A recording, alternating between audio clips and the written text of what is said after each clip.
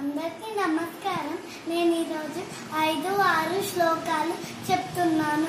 దృష్టకేతు స్థేకితాన కాశీరాజస్య వీర్యవాన్ పురుజిత్ కుంతిభోజస్య శైబ్యస్య నరపుంగవ భావం.